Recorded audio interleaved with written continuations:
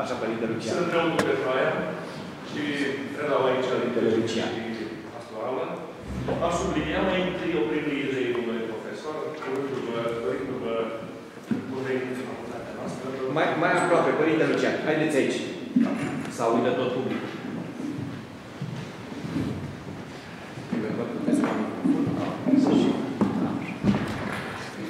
Aș avea doar două sublinieri, deci și o întrebare. Mulțumim pentru ex- expunerea foarte frumoasă pe care ați făcut-o și pentru ideea generoasă de a ne împărtăși câteva date uh, clasice, dar și câteva secțiuni personale privind tema. Mai întâi să vă spun că se construiesc bisericile pe această orientare de axa răsărit-apus, cu altarul către răsărit, dintr-un motiv foarte normal. Omul este o ființă năzluitoare spre lumină. El se împărtășește de lumină și Hristos, Domnul nostru, Fiul Lui Dumnezeu întrupat, vine să ne împărtășească de lumină. De aceea, omul, prin ființa sa, caută lumina și și-a așezat și-a rânduit lăcașurile de cult cu această deschidere, primind încă din zorii zilei. Noi spuneam că știm că primii creștini făceau liturghia antelucem, înainte de a străluci soarele, sau sincronizau liturghia cu strălucitul soarele. Tot aici spun că biserica, locaș de cult, ca structură arhitecturală, este o sinteză a cosmosului. Toți stâlcuitorii bizantini, și mă refer în primul la Sfântul Simeon al Tesalonicului, da? și ceilalți stâlcuitori, Tudor de Antida, German al Constantinopolului, rânduiesc și interpretează locașul de cult ca o sinteză a cosmosului, în interiorul căruia se sacralizează și spațiul și timpul și lumina. Prin fereastra foarte uh, suplă, foarte diafană a, despre răsărita bisericilor, se filtrează lumina și de multe ori abate pe altar, chiar împotriva. Avem experiența asta, așa ce slujim de dimineață, la mănăstiri se vede foarte frumos această proiecție a luminii pe Sfântul Altar. O primă subliniere. A doua subliniere se referă la faptul că de ce trebuie să stăm noi ca slujitori când cu fața spre Dumnezeu, spre răsărit, când cu fața spre popor. Părintele Stăneloae spune că omul se privește unul pe celălalt, oamenii se privesc unii pe ceilalți prin Hristos. Asta învățăm în biserică. Asta învățăm în liturghie, să ne privim prin Hristos, care ne se dăruiește. Atunci când tălcuiește taina uh, Sfintei Trăini, Părintele Stănoaia folosește pe o încetată al Sfântului Grigorie și Părintele Holga ar putea spune mai multe pe tema asta. Și Sfântul Grigorie și Cipriotul sublinează faptul că atunci când Fiul privește spre uh, Tatăl, prin Duhul spune ce frumos este Tatăl meu. Asta ne învață că noi trebuie să privim unii spre alții prin chipul lui Hristos, prin lumina pe care o emană Hristos. Și acest lucru îl experimentăm în biserică. Acum întrebarea. Cunosc un caz de preotul lipovean. Lipovenii sunt, sunt celebri pentru strășnicie cu care țin glavele, țin rânduielele liturgice. Care a fost cateist de mitropolitul mondial al lipovenilor, care e la Brăila, în țara noastră, pentru că a orientat o biserică nouă, după anii 95, la Sulina, puțin spre nord-est. Și a fost un sinod, un conciliu al ierarhilor lipoveni, care l-au catechisit acel preot pentru o deviere, pentru că n-a respectat glavele străbune și tradiția uh, uh, răsăriteană. Cunosc un al doilea caz al unei biserici făcute de foști legionari, de studenți politici legionari din, din Galați, care a fost construită inițial cu, cu altarul spre apus. Și episcopul locului strașnic a spus nu, o mutați, o schimbați, treaba voastră. S-a găsit soluția tehnică și cu ajutorul unor macanale a fost efectiv întoarsă cu altarul spre răsărit pentru a se împlini rânduiala. Întrebarea mea este, domnule părinte profesor, totuși de ce în apus nu se revine pur și simplu la tradiția canonică și firească, cum spuneam, a răsăritului care, unde se menține aceasta, a construirii altarului spre răsărit, și a slujirii, așa cum scriu râmbelele liturgice încă de secolul al patrulea, uh, cu preotul, sacerdotul, spre răsărit. Sigur, cu interfața spre apus atunci când este uh, cerută mișcarea liturgică respectivă. Pentru că noi în Ortodoxie păstrăm cu sfințenii aceste, aceste uh, rânduieli, iar în Occident ele iată s-au abrogat sau s-au agiornat, spunem noi, după Conciliul de Vatican. Deci de ce nu, pur și simplu, părerea mea, motivația unei sistematizări urbanistice este cel puțin puerilă.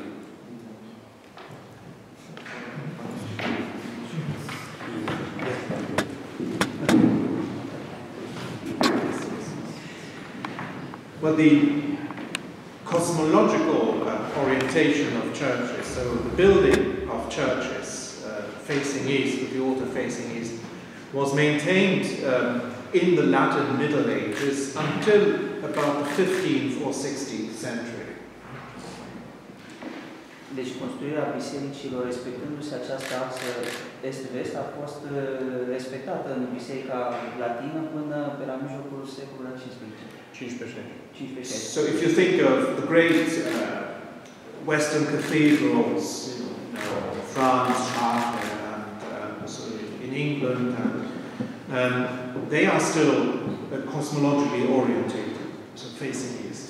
Așa că dacă ne gândim la marile catedrale din Apus, din Franța sau din Anglia, ele sunt orientate uh, cosmologic către răsărit. It is really with the uh, Renaissance, the upheavals of intellectual, spiritual upheavals of 15th, 16th century that this um, connection is lost. Abia din timpul renașterii această conexiune, această legătură a fost pierdută. Well, what is maintained is still the common direction of prayer. So you would have still a kind of ideal orientation, not geographically to the east, but still a, a common direction of liturgical prayer. Ceea ce însă s-a păstrat este această orientare comună, deci, deci păstrarea comună a, a direcției, nu neapărat geografic. But it is true that the um, full sense of the cosmological orientation is no longer observed in Renaissance, Baroque churches, and that is certainly a loss. Dar putem observa că, că în acest, această semnificație profundă cosmologică nu s-a mai menținut în perioada renascentistă și în bisericile baroce, este baroc. Voia dumneavoastră vreau să vă întreb și eu ceva, dar mai mult pentru dumneavoastră. Știind că Papa Benedict uh, deplânge, pomeneam, câștigurile Conciliului Vatican, între care limba vernaculară și abandonarea orientării spre popor, știind și faptul că preocupat de acest lucru a lansat acel motu proprio,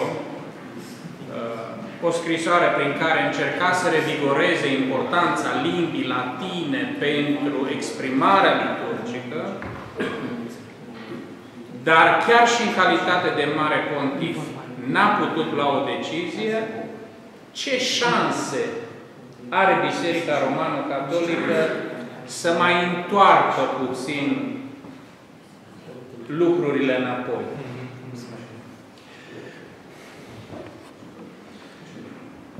Well, I think um, Pope Benedict has made some significant um, decisions in the area of the liturgy, um, not so much, uh, say, imposing a particular practice, but opening the possibilities to recover uh, traditional liturgical forms. Uh, Consider că Papa Benedict uh, a luat anumite decizii semnificative în uh, viața liturgică, în domeniul acesta al vieții liturgice, nu neapărat uh, impunând, ci deschizând, uh, practic, posibilitatea unor astfel de schimbări. So, for instance, the uh, motu proprio summorum pontificum, which uh, gives uh, great freedom to uh, celebrate uh, the Mass and the other sacraments according to the liturgical books used before the reform. Acordat astfel uh, și o, a posibilității slujirii uh, după vechile cărți uh, folosite anterior. I think this is something that has to grow uh, from the grassroots, as it were. This is something that um, has to start from you know, local parishes, local communities, monastic houses, um, so that it can be something really that that um, is rooted in the tradition and not something, not simply something that's sort of, you know imposed by, by legislative um, decision, as is so often the case in, in, in, the, in the Catholic Church. That's just a legislative act. And for the liturgy, obviously, that won't do, that won't work. So you somehow have to make it grow organically, which is um, difficult and takes time. But I'm confident that the, the seeds have been sown for, to allow that organic uh, growth. Care va să zică recuperarea practicii tradiționale nu poate fi impusă de sus, din vârf, ci ea trebuie cumva să vină de, de, jos, de jos în sus, uh, de la nivelul parohiilor nu? Sau, al, sau al mănăstirilor. Trebuie cumva să fie o recuperare uh, organică, uh, corporală, ca să zic așa, noastră.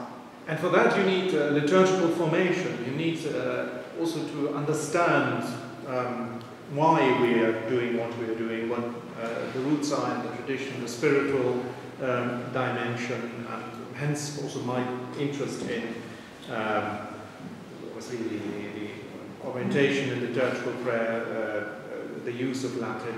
So, in a way, we need to make an effort to um, retrieve the theological and spiritual um, significance of these traditions.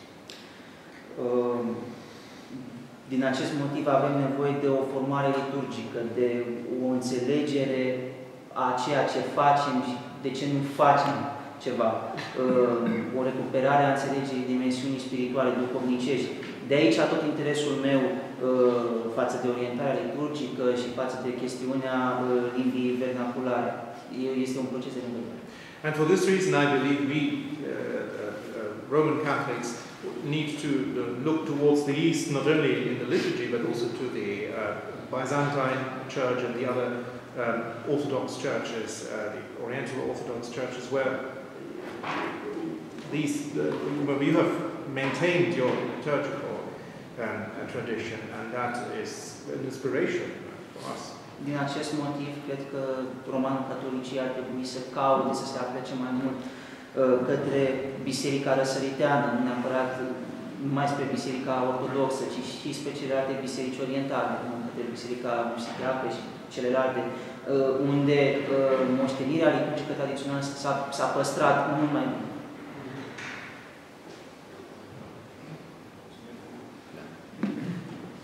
O întrebare singură, dacă Părintele Profesor cunoaște rolul catapedesmii, al iconostasului în biserică, în formarea cunatului liturgic prin icoanele reprezentate, mă refer la practicele părătești, icoanele uh, Maicii Domnului, ale Mântuitorului, și rolul acesteia în păstrarea unei orientări corecte a sacerdotului spre Um, so historically, in historical sense, or um, theological? Din perspectiva poziției sacerdotului, dacă aceasta a contribuit la păstrarea uh, rânduielii canonice, în sensul acesta. Orientation. Um, și dacă nu, yes, I think, uh, dacă nu cumva lipsa acesteia într-un alt spațiu liturgic poate determina o schimbare a poziției sacerdotului, o orientare spre Yes.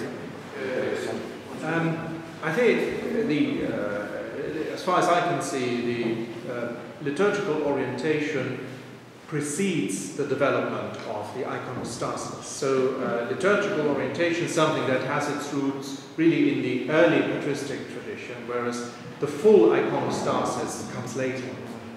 Deci, din punctul meu de vedere, orientarea liturgică precede apariția iconostasului.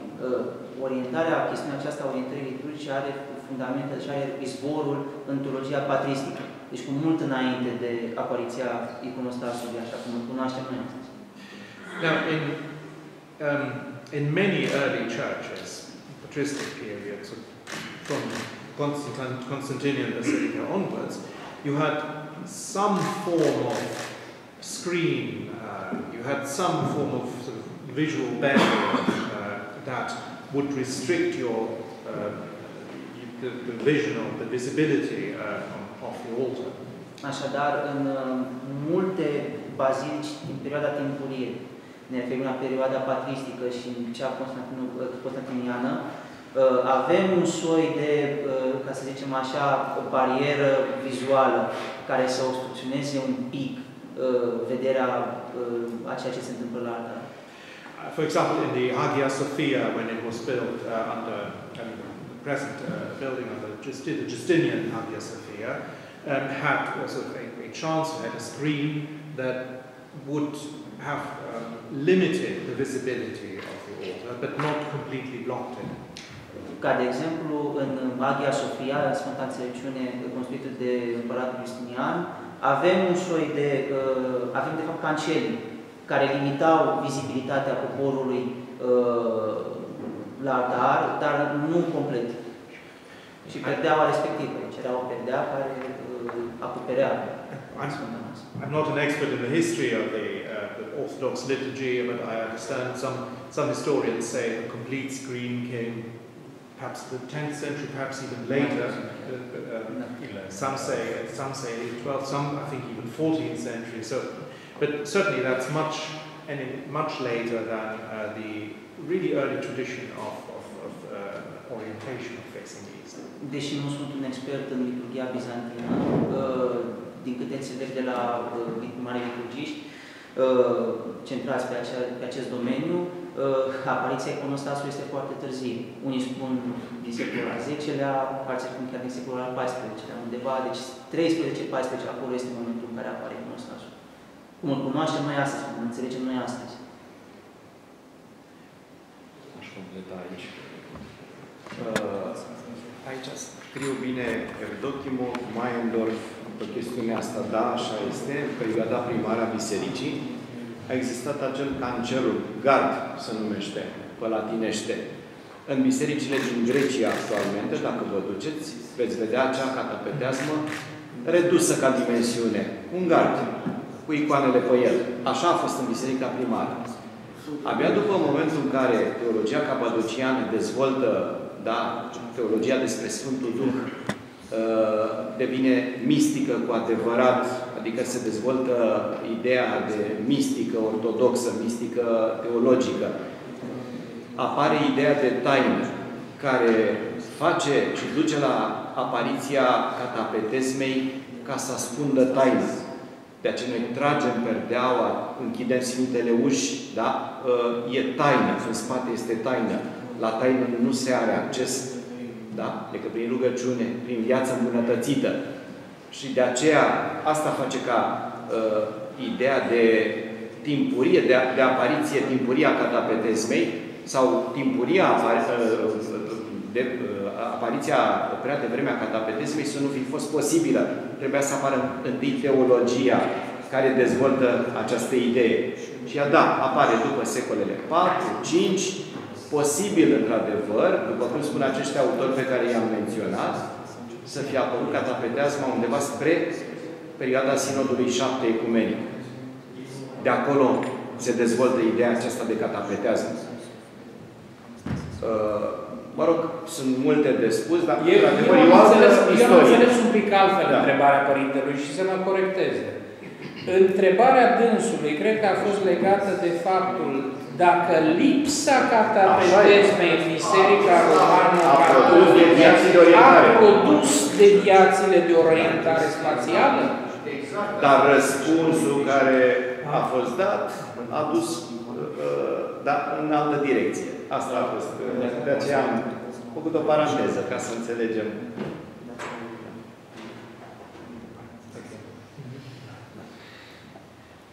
E posibil. Cred că e posibil ca lipsa catapetezmei, da, să fi produs această And as far as I've been able to follow the discussion, yes, I think there may be a link because the uh, cosmological orientation is lost uh, at the same time in, in the West when uh, the type of Renaissance basilica uh, is developed. So a, a church that basically has a free vision towards the altar and the, the sanctuary. Because, uh, see, Uh, cred că este, ar putea fi o legătură, pentru că pierderea uh, importanței orientării este concomitentă cu dezvoltarea bazilicii de tip renascentism, în care în biserică nu este, este un, un spațiu care să permită o vizualizare totală a altarului. A medieval, medieval Western church was not a unified space as uh, we see them today, but had sort of spatial separations as well. You had, um, in most medieval cathedrals and larger churches, a jubé, a rood screen, Lechner in German. Deci nu exista uniformitate absolută în apus, dar existau anumite particularități locale. Spre exemplu, sunt bazilici în care avem un fel de perde care acoperea uh, altarul. So you had you had a rood screen with a, a large crucifixion scene on top of it, and in some way similar to to the iconostasis. But Deci- once, yeah, Exista un fel de barieră, nu de perdea, care avea uh, inscripționată, pusă o cruce. Deci, cumva, aducea ideea iconostasului răsăritean într-o anumită. and then the Renaissance uh, church architecture develops this idea of a, a unified space. Everything is sort of clear vision towards the altar, and that is then also the time when uh, cosmological orientation is lost. So I think it requires some more um, investigation, but uh, I think there can be a connection between the two. Apoi apare arhitectura bazilicii de tip renascentism, în care există un spațiu uh, unitar, nu unificat, în care uh, există o vizibilitate directă și totală asupra ce se întâmplă pe, la altar. Deci ar putea exista o, o legătură, dar trebuie studiată mai în amănunt. Aș dori să întreb dacă nu considerați că uh, schimbarea orientării preotului în Occident, uh, deci uh, înainte sluja cu fața spre altar, acum slujește cu fața spre popor, este cauzată de teologia occidentală, dezvoltată începând cu Evul Mediu, cu Evul Mediu, uh, referitoare la slujirea preotului în locul lui Hristos, în persoana Cristi. Pe când uh, în răsărit, uh, preotul a fost văzut mai mult ca un reprezentant al bisericii în fața lui Dumnezeu. Și uh, dacă nu cumva acest lucru s-a petrecut și din cauza clericalismului medieval, în care clerul s-a despărțit de popor, și atunci preotul n-a mai fost văzut ca un reprezentant al poporului, care este cel din tâi din popor, care aduce lui Dumnezeu jertfă cu fața spre răsărit, și a devenit doar reprezentantul lui Dumnezeu. Și, sigur, mă refer și la momentul consacrării, când în Occident preotul rostește luați, mâncați, pe pentru acesta toți, ca și cum ar fi Hristos. Deci slujirea aceasta în persoana Cristi, uh, dacă nu cumva este cauza schimbării acestei orientări în uh, misiei. I don't think uh, it is really that um, theological element that led to the change. The change was certainly um, argued for quite strongly in the 20th century um, with the argument of, of participation, to encourage the people's participation, active participation. And it was really meant to um, facilitate the part, active participation of people. Uh, nu cred, sincer.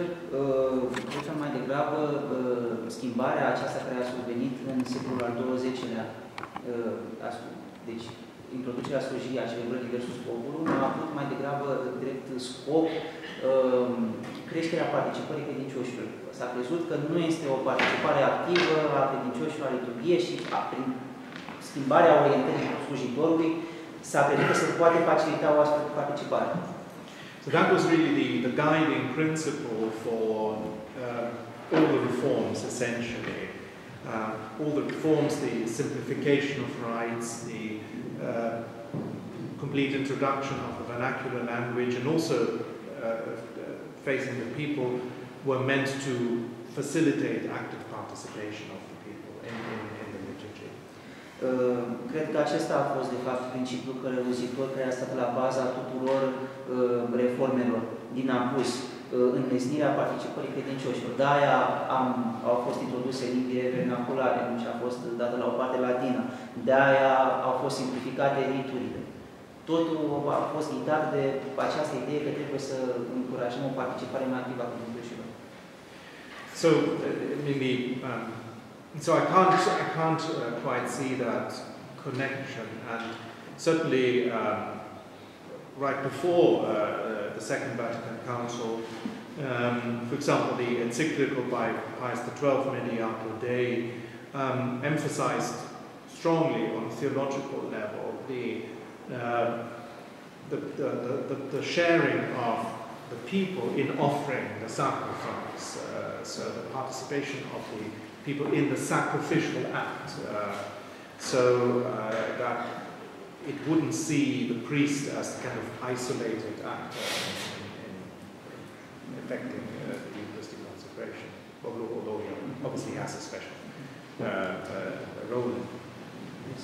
Uh, Aici apare această enciclică papală Mediator Dei, care tocmai încearcă să uh, accentueze faptul că preotul nu este un uh, actant, nu, un slujitor izolat de restul adunării liturgice, ci că aducerea jertfei eucaristice este de fapt uh, un gest uh, corporal, ștesc.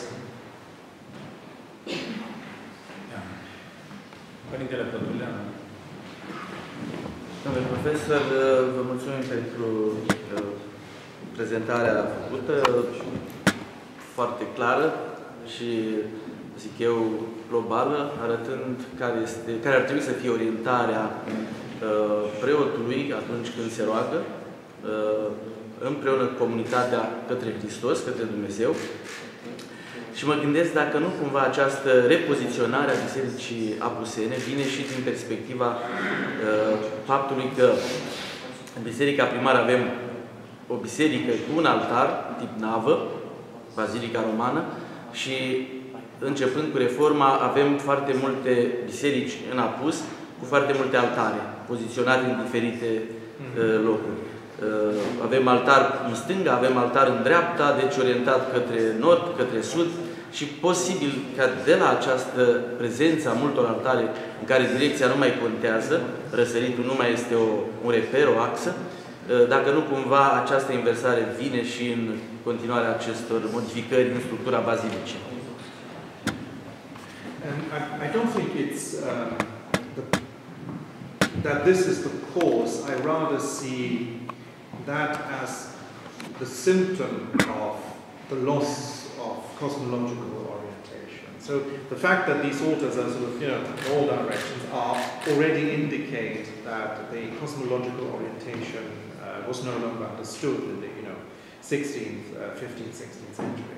Deci apariția acestor altare secundare este de fapt uh, dovada că în secolul 15 și 16 această orientare cosmologică, însemnătatea acestei orientări nu a mai fost înțeleasă.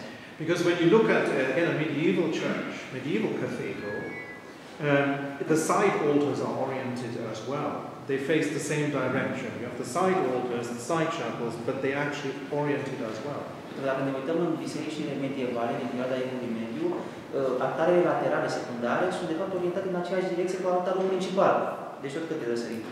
It's only then in the, sort of, in the Renaissance Baroque church that you have altars, you know, towards the north, towards the south, and in every direction. Deci abia în bisericile de tip baroc, uh, altarele laterale încep să fie poziționate ba către nord, ba către sud, în diferite poziții față de uh, altarul principal. Părintele, Părintele Petraia, o întrebare scurtă, după care Părintele Preda era la rând. Mă iertați că încep să fac un pic de o ordine. Scuzați-mă, Vreau să vreau puțin uh, uh, întrebarea pentru echilibru și să vă spun totuși că între forma liturgică de slujire și fondul doctrinar există o unitate uh, fundamentală, unitate ontologică, conțială. Și că întotdeauna slujirea se exprimă Domnul. Noi știm asta. Întrebarea de părinte profesor. Nu credeți că totuși această enfază cu relativizare a orientării biserică spre răsărit și, uh, să spunem, schimbarea stilului de slujire cu fața către apus, către credincioși și apus.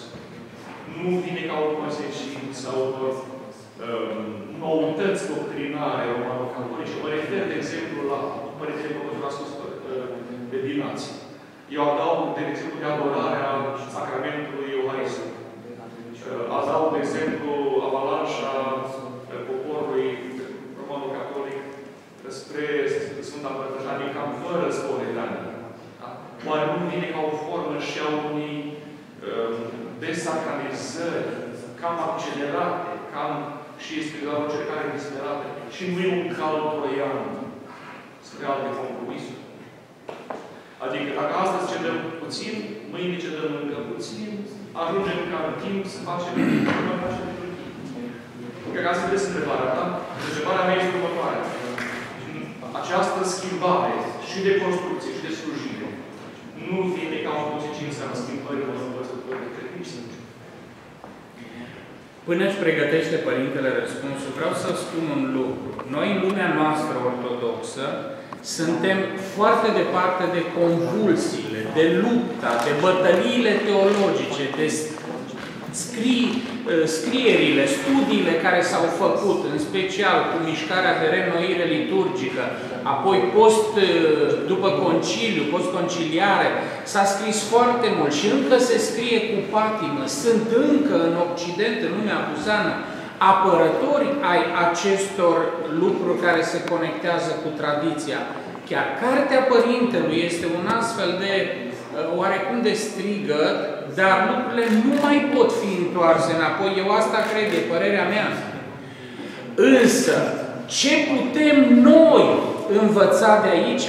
Să nu facem aceleași erori. Din acest motiv, cuvântul meu introductiv l-am început cu explicarea unui gest pe care lumea l-a uitat. Chiar și ofițerii în armată nu știu de ce duc mâna la chipiu.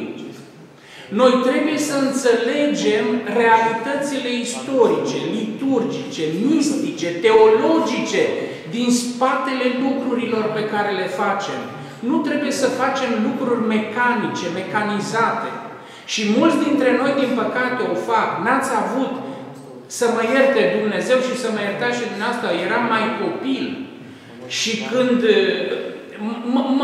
mă jucam un pic cu, cu creștinii din biserică, îmi făceam câteodată cruce când nu trebuia. Cel puțin 20 de lângă mine își făceau cruce.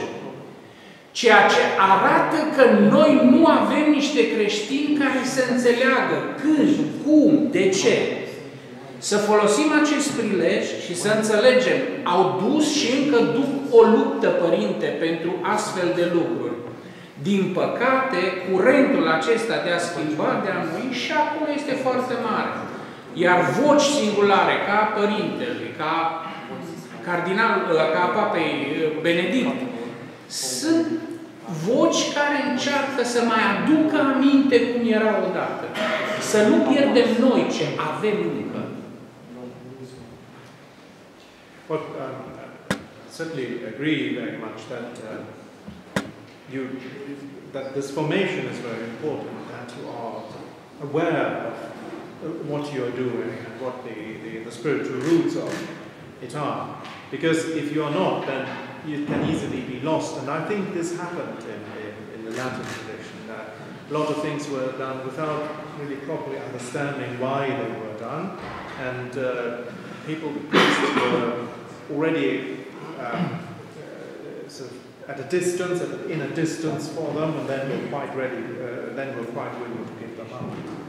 Uh, observ că sunteți conștienți uh, de rădăcinile tradiției autentice și în apus uh, astfel de lucruri s-au pierdut tocmai pentru că s-au pierdut înțelesul lor și faptul că poporul s-a distanțat treptat, treptat de adevăratul înțeles, când acesta a căzut practic în dezvoltare. Regarding the connection between doctrine and, and liturgy, it seems to me that in the second half of the 20th century, in the middle of the 20th century, uh, I think there was a bit of a naivety um, about the, rela- the important relationship between these two um, aspects. Uh, legat de uh, această conexiune, legătură între dogmă, doctrină și liturghie, cred că în a doua jumătate a secolului al XX-lea a existat un soi de naivitate uh, privind uh, înțelegerea, uh, cum să zic, acestei legături, conexiuni între dogmă și religie, și liturghie, cult. I don't think there was a real awareness what an effect it has if you sort of change the ritual shape of the liturgy, what effect it has on the people and on their faith, which is often not sort of, sort of reflected faith coming out of theological study, but of you know their regular practice, their regular Sunday practice. And if you change that, it has a, also significant uh, effects on the way they perceive the faith, you know, lex orandi, lex credendi.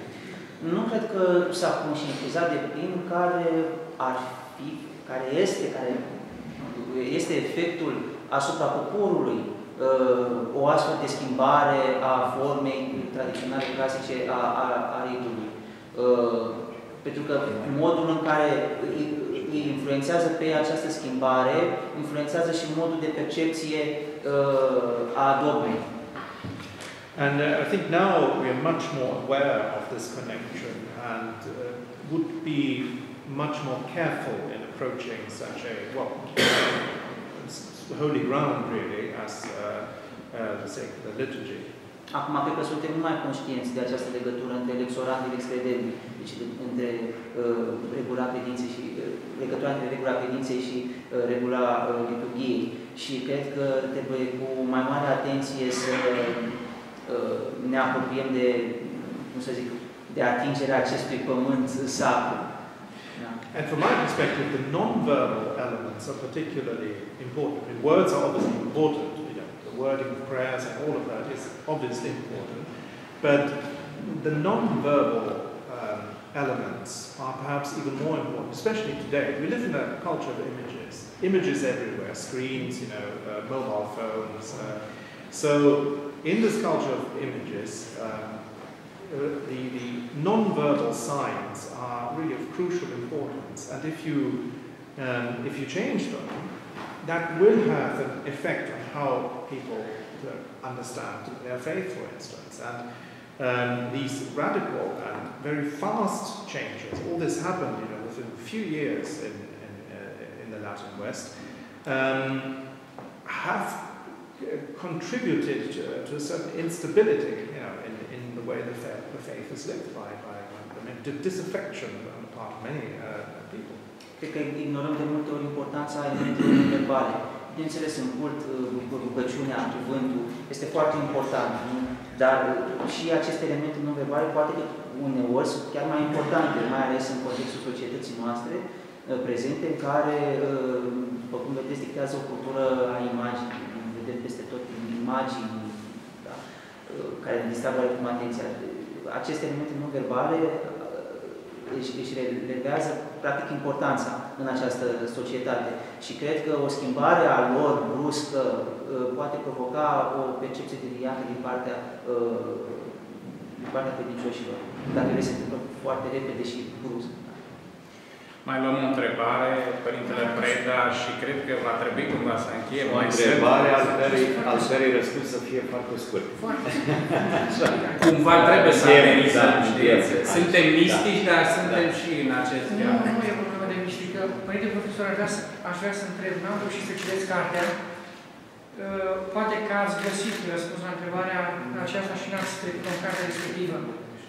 Dacă problema orientării la rugăciune este una evidentă, adică către Orient, Aș vrea să vă întreb dacă în studiile dumneavoastră, pentru că ați aprofundat această problemă, ați găsit măcar o sursă care să ateste slujirea în fața către popor.